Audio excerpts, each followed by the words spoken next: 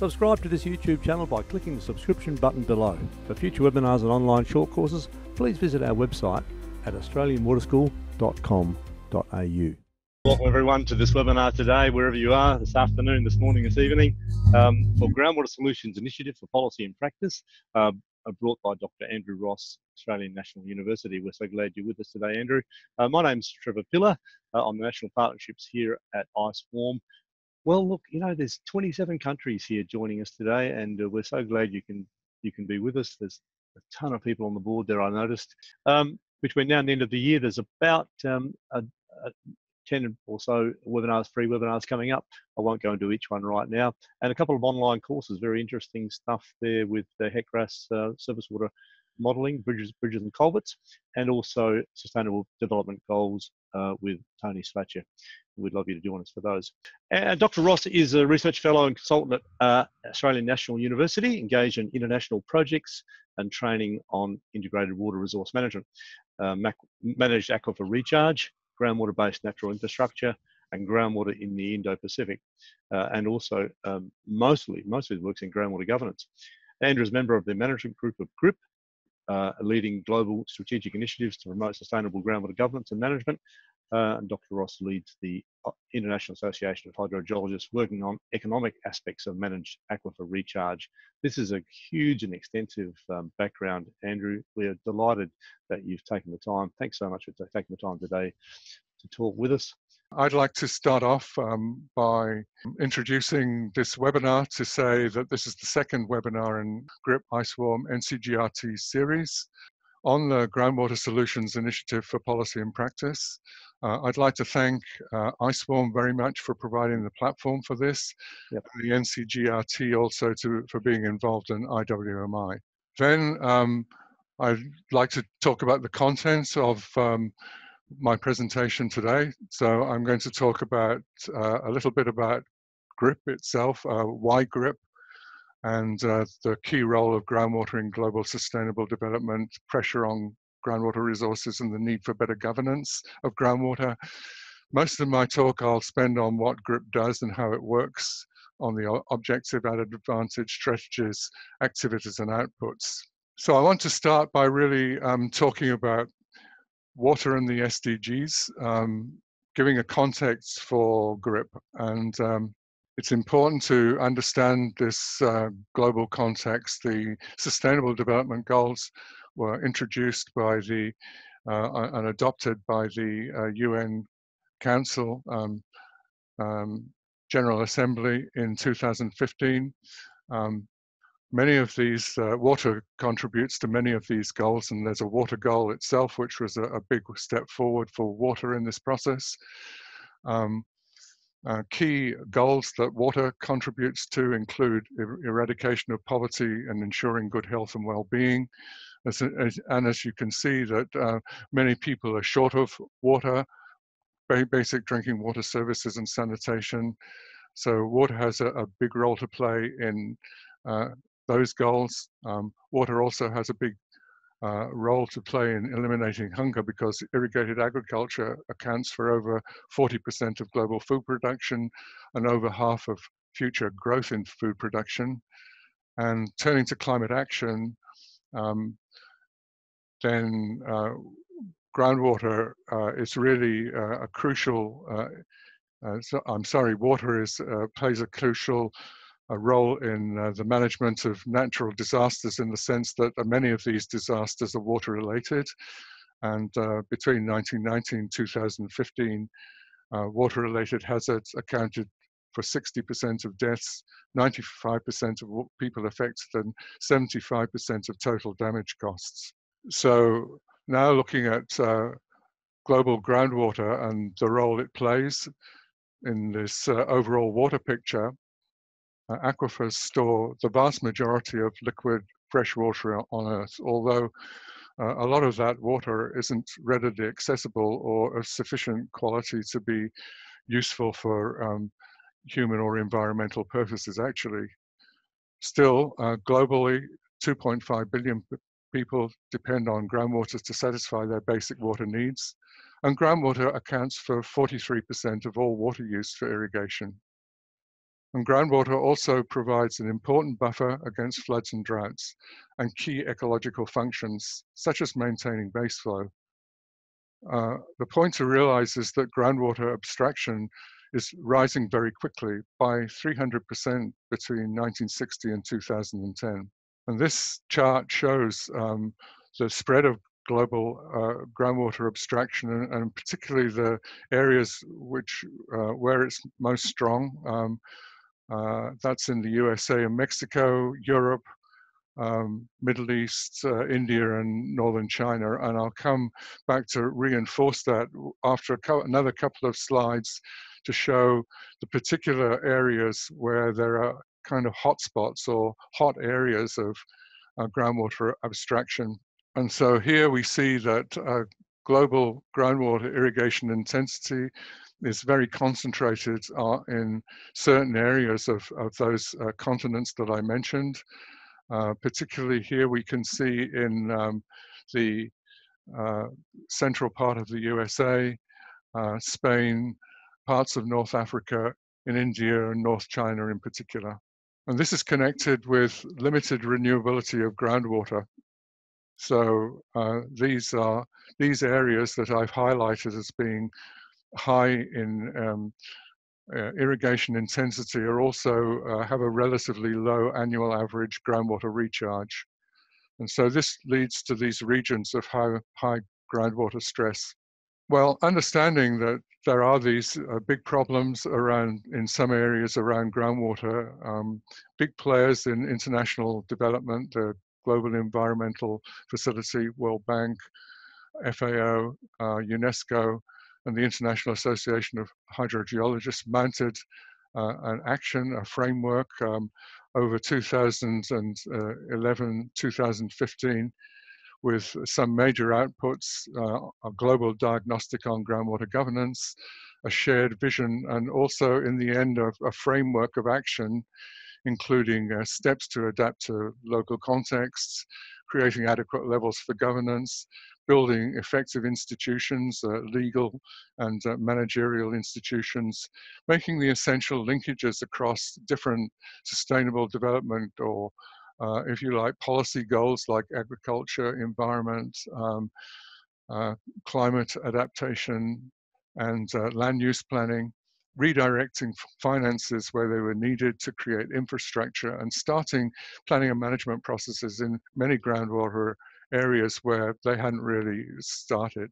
So with that, I, I want to turn to GRIPP, and GRIPP was really um, a response or a follow-up to that global initiative, or, or one of the follow-ups, uh, where a group of partners got together uh, with the aim of trying to push along this goal of sustainable groundwater management for livelihoods, food security, climate resilience, and economic growth. What you might say uh, is the added advantage of GRIPP, because we know that there are many uh, international uh, bodies, uh, UN bodies and other bodies that are active in the water field and have special water mandates. Well, GRIPP has um, a group of partners with a high level ex expertise and capacity, uh, capacity to advocate for the groundwater contribution to the SDGs. GRIPP is um, unlike the more strategic uh, groundwater governance initiative, very solutions oriented it's a flexible and network body. It's very demand driven and able to respond to uh, different contexts. It's also uh, a very integrative body. Its partners, its members have uh, many different disciplines. Um, it covers a range of sectors and there are a range of partnerships too, both within GRIPP across the partners of GRIPP, but also outside to other uh, collaborators. And finally, GRIPP um, uh, brings together documentation of uh, solutions from around the world with easy access to cases and tools. These are the main GRIPP thematic areas, groundwater and food security with uh, specializing or looking particularly at irrigation scenarios, virtual water and gender, then groundwater for ecologically sustainable development, looking at groundwater development ecosystems, environmental groundwater reserves and trade-offs between environmental and I guess that you could say uh, consumptive goals. Uh, the groundwater, water security and climate change adaptation nexus with uh, groundwater buffers, conjunctive water management and managed aquifer recharge saying um, particularly good uh, prospects for solutions. Then groundwater and energy. Uh, energy costs as groundwater uh, use is increasing uh, are, are, raising as a particular issue uh, as wells. There are more and more wells and having to be driven deeper. And also there's a question of electricity subsidies. Uh, many times uh, these energy costs are subsidized, um, leading perhaps to uh, an acceleration, acceleration of pumping uh, in areas where it's not sustainable. There's also the question of solar pumps, a great innovation, but also with the potential to lead to overexploitation if these are introduced uh, too fast in some places. Then um, transboundary aquifers, uh, questions here of uh, the assessment, joint management mechanisms and monitoring for aquifers that cross national boundaries. And finally, groundwater governance initiatives which bear on all of these different thematic areas.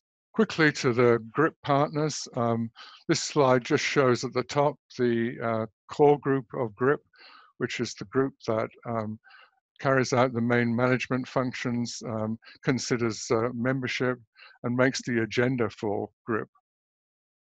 And then the partners, um, very important, uh, some big players in this group, uh, like the GEF, the World Bank, UNESCO, um, also many technical bodies like uh, geological surveys, and, and, many other important partners.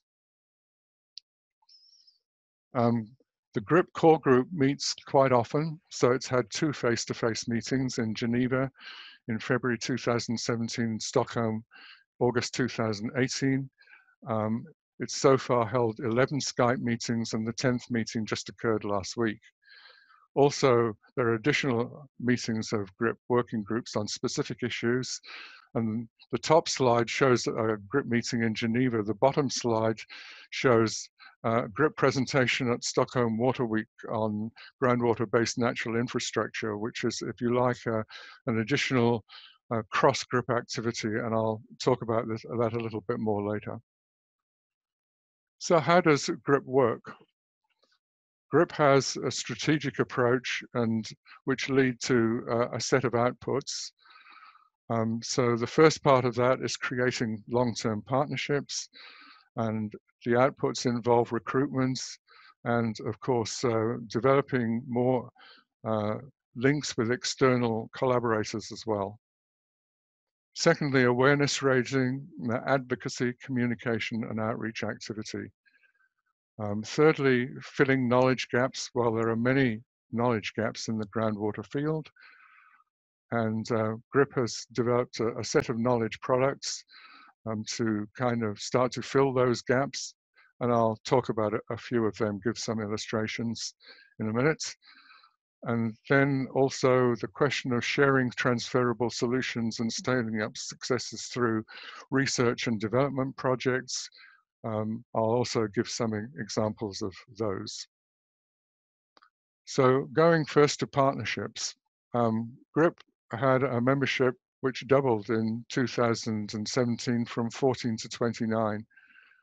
And while uh, GRIPP is establishing, uh, uh, sorry, encouraging further partnerships, there is a halt to new memberships at the moment just to allow partners to consolidate their activities. The resources and funding for GRIPP are kind of be split, can be split between secretarial resources and uh, which are provided funding and in kind from the GRIPP members where, uh, and of course, uh, external contributions to that are always uh, also being sought, and project funding, which tends to come from external bilateral sources working on the projects. Collaborating partners with GRIPP um, include technical agencies and funding bodies, such as in Australia, the National Centre for Groundwater Research and Training, um, the Australian Water Partnership and ACIAR. And in Germany, uh, the Geological Organization BGR and the Center for Applied Water Research at University of Dresden. And then we have the World Bank and GEF, of course, in the international sphere and many others. So, and group partners are engaged in the development of project proposals and project implementation. I'll give you a few examples of that later. Turning to advocacy and outreach activities, a key activity that was undertaken in 2017 was advocating the importance of groundwater in achieving the SDGs. So through the high-level panel on water, a letter to the high-level panel on water, through an engagement with a high level of panel water Sherpas in Australia, Mexico, and Netherlands. I've shown uh, uh, the first few paragraphs of the letter in the insert to the right of the screen. Then we have uh, a presentation to UN Water in 2017, there early in 2017. And all these activities uh, coincided, or I would like to say led to groundwater being strongly mentioned in the high level panel on water outcome report. GRIPP was a player with other partners, of course, in bringing about that outcome, but it's a very satisfying outcome. Then um, in 2017, many presentations were made by GRIPP partners about the strategic importance of groundwater and GRIPP in international development. 16 international meetings in 2017. I, I haven't got time to list them, I have listed a few of the activities for engagements in 2017, including contribution to the Water Sustainable Development Goal Assessment and Indicators. I've given a couple of examples there. Uh, a, an overview on groundwater, which was provided to UN Water, and I'm going to come back to that production in a minute.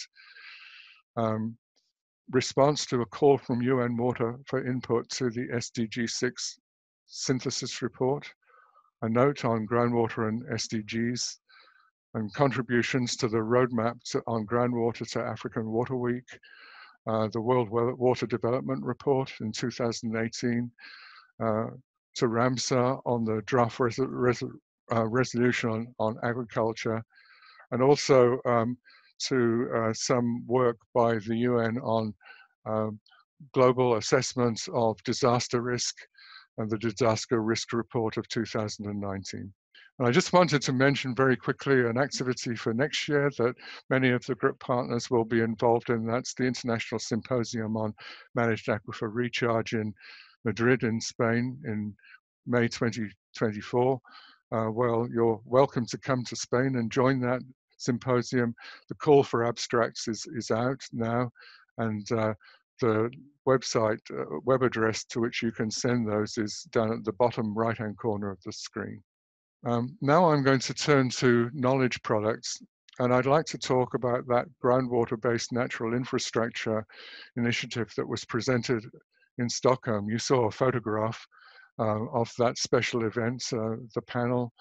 Um, this, uh, the documentation uh, for for this special event includes an overview of groundwater-based natural infrastructure solutions that's divided into groundwater storage, water retention, water quality, and environmental support. And also uh, a guide to selection of solutions to fit various situations was produced. And this graphic uh, attempts to capture some of the range of situations where groundwater uh, based natural infrastructure uh, uh, provides solutions and works ranging from mountainous areas, um, sand dams to try to hold water in the landscape for dry times, ranging down to some quite complicated uh, projects on the plains to remediate groundwater and clean up groundwater quality. Um, and uh, also uh, different projects to enhance habitats and payments for ecological services. I want to, um, sorry, and the um, web address where you can find the information on this work is uh, down at the bottom of this slide. I just want to give a couple of examples of the cases. There were uh, nearly 20 cases overall. Um, this is one about payment for eco ecological services for MAR in Japan. And here the issue was that some cities uh, were short of water supply in dry times. They got together with local agricultural associations to make payments for farmers to flood their fields at certain time of the times of the year to um, to have some um, uh, increased recharge and um, ensure that water supply was available for the cities and for these um, for these uh, services, if you like, then these farmers were paid for some loss of production that they incurred in this flooding. The second example is uh, aquifer storage and recovery.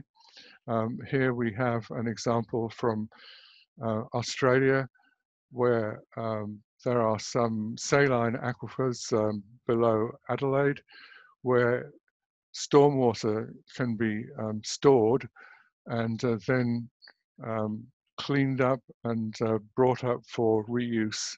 You can see the, the way this system works. The stormwater is collected, it's uh, filtered through wetlands which clean out some contaminants it's injected into the ground, which clean out more contaminants, and then it's brought up for use in urban green space, peri-urban agriculture, and can even be cleaned up for um, uh, for for drinking water uses. Now I come to um, a set of GRIPP case profiles. Um, two of these have come out, and there are some more in the pipeline. I've given um, uh, links to the first two, and I understand that another one has just actually come out. Unfortunately, I've got the details, but I didn't have time to put it into my PowerPoint, but you'll be able to find that very soon on the GRIPP website.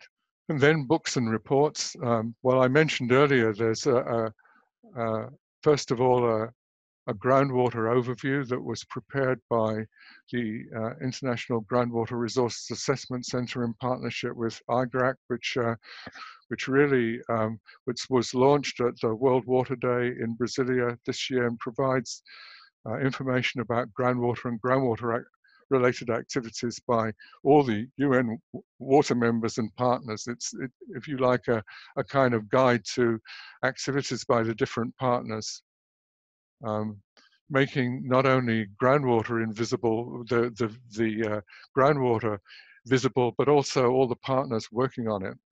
The second um, publication there is a book on advances in groundwater governance, really following on from that global groundwater initiative and drawing together some of the best academic and expert work on groundwater governance.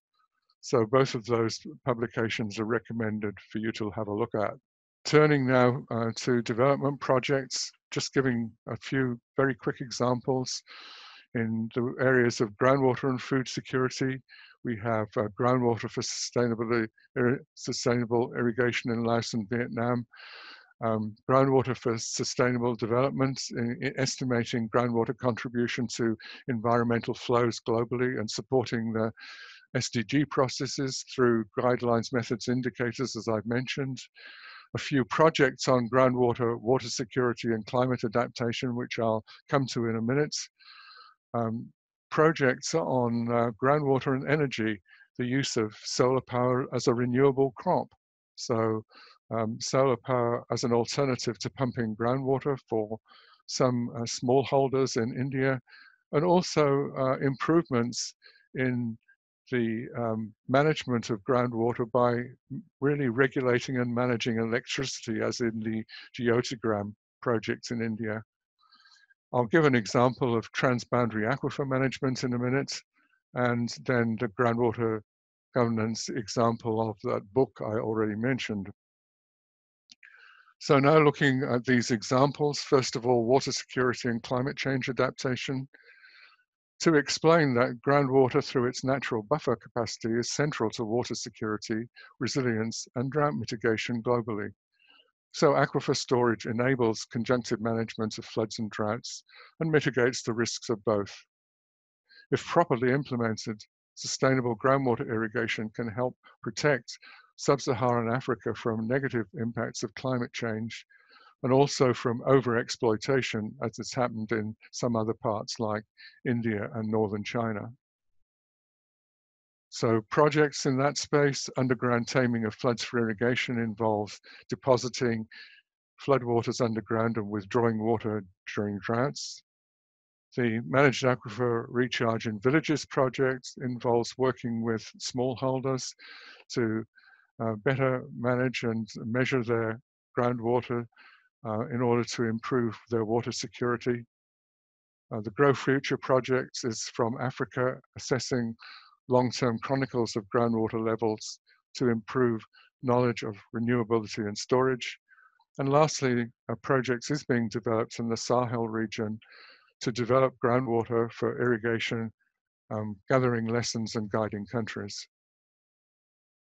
Um, just briefly on transboundary aquifers, uh, these aquifers often cross watersheds and national boundaries, creating some quite difficult governance problems. And there are now nearly 600 of these transboundary aquifers identified globally. These are likely to become more and more important as water becomes scarce. So setting up joint mechanisms and cooperation is critical to ensure sustainable use. And there's this one uh, project in the Ramotswa that GRIPP is engaged in at the moment. As i am just giving this as an example. Uh, GRIPP does have other engagements, but this one is mapping the aquifer through airborne geophysics, conducting transboundary diagnostics, developing stakeholder awareness and a strategic action plan, advising the regional authorities, and setting up a subcommittee under um, other sort of management committees between relevant states, the Botswana and South Africa in this case. So I'm coming towards the end now of the presentation. I just want to uh, outline the GRIPP work program for 2018 and 19. Uh, one component is going to be further mapping and identification of groundwater solutions, really following up and expanding on that groundwater-based natural initi uh, infrastructure initiative and uh, trying to build a, a, web base for these solutions or where we can gather and uh, put up um, solutions for uh, outscaling and further um, communication and development. Engagements in sustainable development goal processes and the development of methodologies, I think I've mentioned that. Um, some work on groundwater in the World Development Report uh, in 2019. It's about leaving no one behind. And, uh, you know, there are some quite major issues for groundwater there, but because some people, um, uh, some communities, um, some disadvantaged groups and, and women have relatively poor access in some areas to uh, groundwater. And so we will be looking for examples of solutions to be um, out, put into that World Development Report as uh, examples of best practice. And then I've uh, probably covered enough about the follow-up on the groundwater-based natural infrastructure initiative. We'll be uh, developing uh, a further web product, web base, and uh, perhaps uh, um, a policy brief on that. Community continuing activities, well, we'll be going on advocating um, carrying on these advocacies in UN and other international forums, developing case profiles and other knowledge products, and working on further uh, ideas for development projects. And of course, uh, I'm sure that you'll now be wanting to know how you contact GRIPP. Uh, GRIPP has a, a, website. I'll show you the homepage in a minute. And on that site, there's um, uh, scope to a button to send messages to contact GRIPP. Um, there's a con this contact button that you can access and send messages. Um, you can also contact GRIPP partners directly, as especially core group members. And, and this is, you know, if you just have general questions or you have ideas for new activities, uh, we'd be glad to hear from you. So then my take home messages is First of all, groundwater plays a key role in achieving the UN SDGs. Secondly, GRIPP is aiming to raise awareness about groundwater opportunities and threats, to share and scale up solutions, and to disseminate knowledge. There are really huge opportunities to develop groundwater sustainably and contribute to livelihoods, food and water security, and climate change resilience. And I'm sure that the audience out there can think of many more than has already thought of. So we'll welcome your thoughts. In some regions, it's also necessary to address aquifer depletion and groundwater contamination which is having a huge impact on affected populations in those areas. You'll remember the slides I, I showed you at the beginning. Please contribute to the GRIPP program of advancing global sustainable development through sustainable groundwater management. And with that, I'd, I'd like to end my webinar and thanks very much for your attention. That, Here are a few you. references. Um, yep, yep, absolutely great. The first one comes from Islam Al Haq in uh, Islamabad, Pakistan. He's with a group called EcoSteps. His um, his question says, um, uh, "What are the latest software softwares for ascertaining groundwater potentials and other parameters?" Yeah, so uh, I, I, would just mention perhaps that there has been um, uh, the development by um, the UN and uh, also GRIPP of a, a, kind of framework for the assessment of groundwater. Uh, that involves um, um, the assessment of resources, uh, right. socioeconomic aspects, and governance. Um, uh, I guess it's uh, in documentary form, which uh, is is available. Uh, I would call that uh, management software. Um, I think that's quite an important contribution that has mm. been made, and that framework is being used by um, some of the GRIPP partners and by UNESCO for their work on groundwater in, in Africa in particular, I know. But uh, yeah, so on more specific software, perhaps the, uh, the question related to that, and perhaps we could explore it afterwards. That's for sure. No, that's great. Thank you for that. Um, Austin Tibu uh, has asked you'd like to have more information uh, on the development and research projects in the Shire, South Africa. I don't know whether you are able to respond to that here, uh, but there's yeah. been a bit of interest in that from others as well. Yeah, okay. So that's uh, um, actually a project that is um, being carried out by um, various uh, international partners, um, the International Water Management Institute and uh, IGRAC, who are both uh, GRIPP partners, are involved in that project. Yep. Um, they uh, would have detailed information about the project. I, I must say, uh, I don't have it to hand myself. I did uh, certainly raise that as an example of our work, and I could definitely um, send that caller more information. Yep, no, that's for sure. If there's any other callers uh, who are interested yep. in that question, yep. Uh, I can definitely respond. Okay, we'll be in touch then straight after the webinar. That's great. Thank you for that. Um, uh, uh, Ananda Kumar is um, delighted to see the good work being done in India, especially around MAR and MARVI, uh, and good, really good to know about GRIPP. Um, uh, Ananda also says if we want to be in touch with um, GRIPP developments, is there any way to do that? I guess, the GRIPP website. Yeah, I think it, that, that, that's where you can um, you can yeah. find. Uh, I think I've got this screen. I don't know if people can see still see the my presentation or the final slide in my presentation. Well, they, they can't. But what we've done. Okay. What we've done, Andrew, we've, we've put it into the chat line so everybody has got that now got that yeah. GRIPP website uh, so, URL in the, in the yeah, chat line. Okay, so in the um, GRIPP on the GRIPP website, there's a button there called News, and that's where you'll find all the okay. latest news on GRIPP. Okay, so that's that's very helpful. No, thanks very much for that. So thanks, Ananda, for that question. That's great. Um, Karen Villholth uh, has uh, said, uh, "Oh, thank you, Karen. That's really great, uh, Austin. I can give you more information on the Shire um, TBA work." Uh, uh, uh, Karen Villholth from uh, IWMI. That's great. Karen gave the first um, webinar last week. It was fantastic. The week before last on GRIPP. So yes, she'll be in touch, Austin, and also Ananda. Thank you. Yep, got that. Yeah, That's great. So we'll take care of that. yep. No worries. Thanks, Karen, for that intervention. Yeah. Wonderful. Basant uh, Maheshwari uh, is in the University of Western Sydney. Thanks very much for the presentation, Andrew. Very informative. Uh, groundwater is still slow in getting into the agenda of national governments. So, in your view, what is one of the reasons in this regard? Mm. Okay, I think there are a lot of reasons for that. Mm-hmm. Uh, yeah, I think a lot about that question. So, really, uh, one way to look at it is that uh, a lot of the policy is focused on water as though it's something homogenous.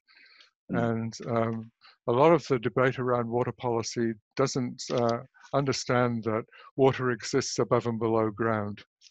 Groundwater does uh, stay invisible, uh, and you, you, know it it has got different specialists or um, technical disciplines who are particularly associated with it which uh, is another issue. Um, I think um, the Basant's question is extremely good one, and it just underlines that we really do need this advocacy stream of GRIPP work. That's what we're trying to do in advocacy, and also, of course, by putting out solutions and trying to upscale solutions. But the advocacy part of our work is particularly trying to raise awareness of the importance of groundwater in the overall water cycle, right. the uh, contribution that groundwater is play, playing or to the achievements of all of the sustainable development goals, which which isn't fully realized right now. No, and this is this is one way to, to get the um, get the um, uh, word about GRIPP and what GRIPP can do uh, out. And I'm so pleased everybody's joined us here today for this webinar. Uh, Karen goes on to say to, to uh, Ananda and to everyone, you can subscribe to GRIPP news updates from the website and receive news to your email box. So you this is a, another uh, avenue for but thanks very much, Karen. That's, that's great. So subscribe to news updates going to that GRIPP web, website. Terrific. All right, we've got a few more questions here and we'll press on. So we've only got about 15, 14 minutes left here. William Ateo from uh, WA, I believe. Yep, Shire of Meekatharra, Mount Magnet, Yalgoo and others um, in, in Western Australia. Uh, so pleased to join this webinar, says William. Just wanted to know how much time and effort has gone into Australia, in particular the water that goes to the ocean in Kimberley, Ord River, to be used right throughout Australia. Uh, if you don't have time to get to this question, it's okay. But there's a couple of people that are asking the same question. Yeah, so I, I think I should just make a comment here that, yeah. of course, um, water in the northern part of Australia is a long way from the right uh, parts of Australia which most need it, like, for example, um, cities in the south part, southern part of quadrant of, of Western Australia. It's um, you know thousands of kilometres. There have been investigations of the possibility of piping water down. Um, I don't think that that idea is completely off the table, but uh, most of the scientific assessments is it's really far too expensive mm. to to uh, pump ground, groundwater over those long distances and makes it a, a long water transfer. Water's so, a heavy, heavy, heavy substance, and it's not expensive enough. It's not. So we're really looking for other water sources that are closer to the places of use, yeah. uh, like aquifers, like recycled water, yeah. where uh, surface water is already short. That makes a lot of sense. Uh, Pravin has asked, what are the sensitive parameters we need to look at carefully to sustain groundwater, and how will GRIPP, uh, could GRIPP help in funding that? So what are the parameters to look carefully at sustaining groundwater? Mm, uh, I think that's rather a, a big question. Um, and, and also the word parameters quite makes it technical. So I'm not quite sure whether Pravin means uh, sort of more the more technical questions like uh, understanding recharge or evapotranspiration or technical parameters in that way, or whether it's more the integration of a whole lot of different information, which I was trying to suggest when I introduced the case of integrated groundwater assessment, right. looking at both the technical but also the socioeconomic uses and, and the governance aspects. So, um, well, if Pravin's got time, he may may would like maybe like to um, come in and um, um say which particular aspect he's interested in. That might be the way to handle it. Very yeah. important. And no. GRIPP, of course, is trying to help to, um, uh, I, I, guess, develop or understandings of both. As far as funding goes, um, GRIPP is not itself a funding body. Right. And that's important to understand. It's a, a, a body. It's a a, um, a partnership of experts which has a more a kind of advisory and uh, information um, gathering and sharing and promotion capacity. Um, so indeed, uh, GRIPP is looking for funding rather than, yeah. uh, you know, a small amount of funding uh, yeah. would be very uh, helpful to uh, expand our range of services. No, thanks for that question, and it's a bigger question, and maybe it can be um, it can be pursued further outside of this webinar. Uh, Jagdish in uh, India has asked, uh, should industry be allowed uh, groundwater recharge using treated effluent to achieve zero liquid discharge? So it's a governance type question. Um, yeah, well, um, my broad answer there is yes, that's all right, providing that the um, proper regulatory standards are met. Yeah. So yeah. actually, as a model, uh, Australia does have uh, a, a, set of guidelines on MAR for the use of uh, treated effluents that cover the use of treated effluent, I should say. Yeah. Uh, fairly, very comprehensively. They've been developed in Australia uh, and are in use. Um, happily, um, also the, with the work of uh, some of our GRIPP collaborators, like my friend and colleague Peter Dillon yes. and others, uh, uh, a set of um, groundwater guidelines, I, sh I should say MAR, guidelines for India has also been developed, taking account of local circumstances and in that way that we, we do try to uh, adapt to uh, local capacity and need.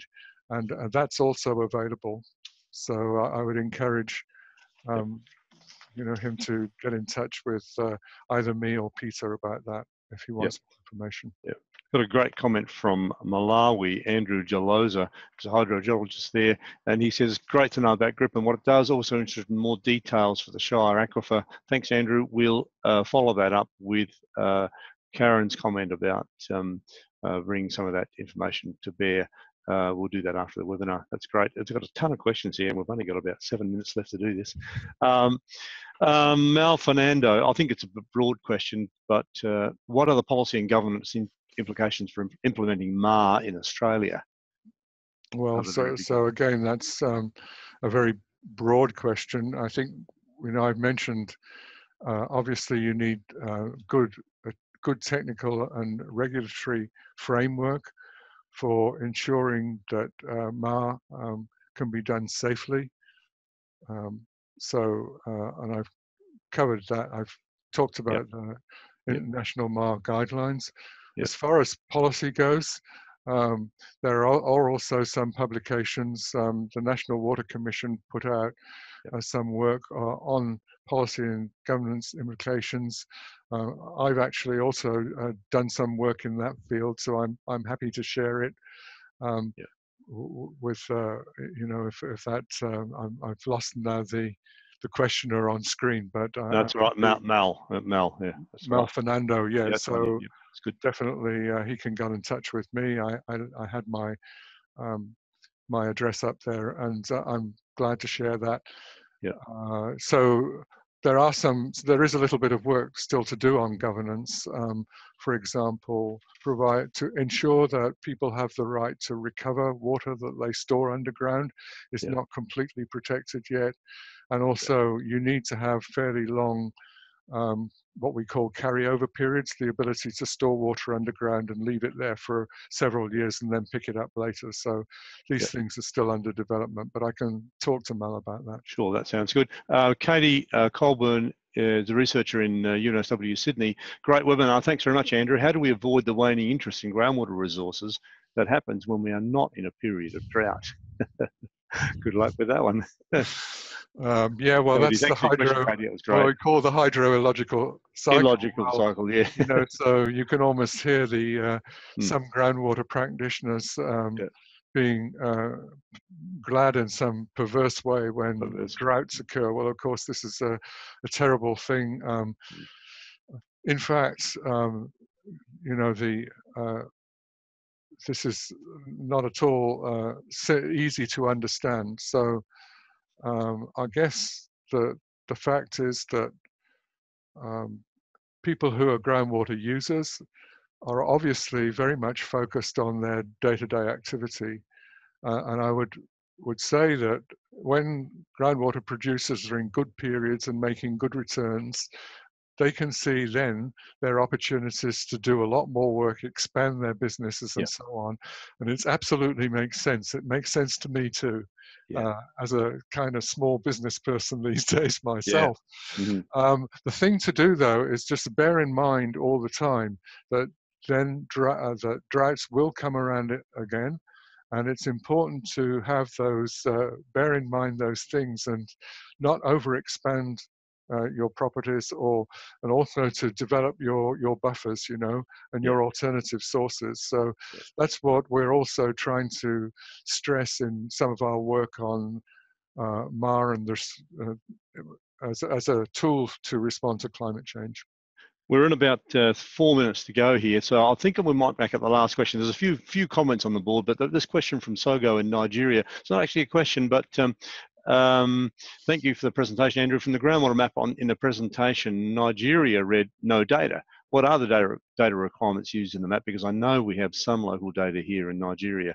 Uh, yeah, yeah, yeah. Okay, so uh, there are quite a lot of uh, African countries which are, are, reading in that way. I, I, think what that's telling us is not that Nigeria itself has no data, but the transmission of Nigerian data into those um, those particular global databases from which those studies drew their data has been imperfect so far.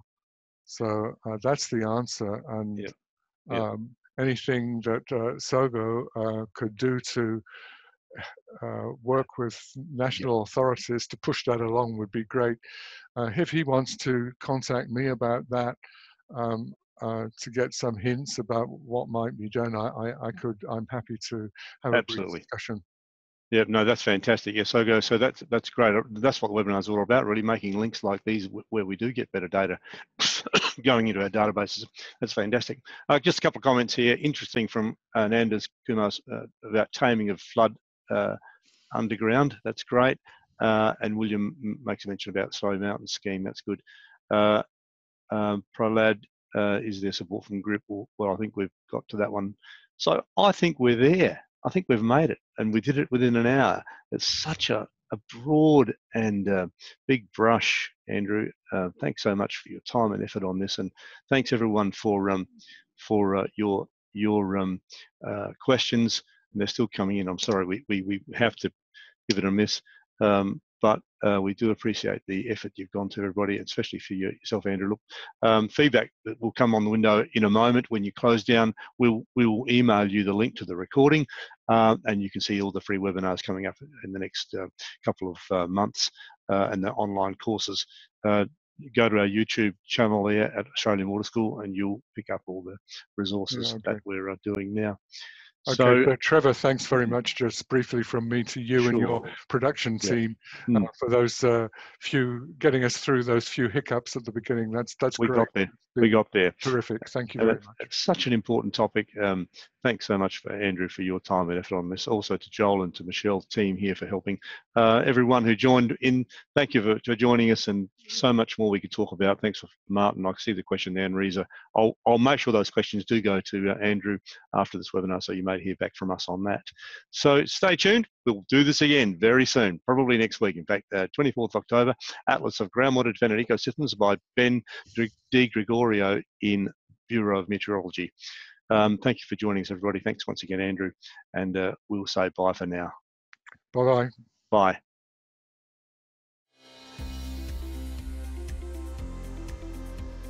Subscribe to this YouTube channel by clicking the subscription button. For future webinars and online short courses, please visit our website at australianwaterschool.com.au.